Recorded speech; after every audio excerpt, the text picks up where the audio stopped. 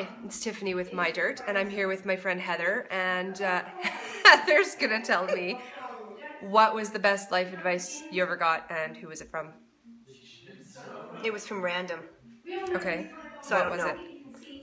And everyone's gonna think that they've heard it before. it? But Okay, you haven't. okay, Ready? yep. Dance like no one is watching. Because they're not. They're looking at their cell phones. Is that your advice for everybody, or just your teenage daughter? Everybody! People need to dance more. No one ever dances. So we're dancing tonight. Well, even just, you know, say what you think, mean what you say, do what you want, dance like no one's watching. It's the same thing. It's all the same. Do it. Now. It's good advice. Thanks.